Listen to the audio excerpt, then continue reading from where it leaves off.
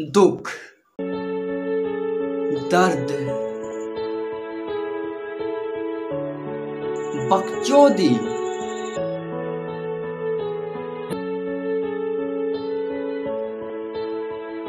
और चूतियापा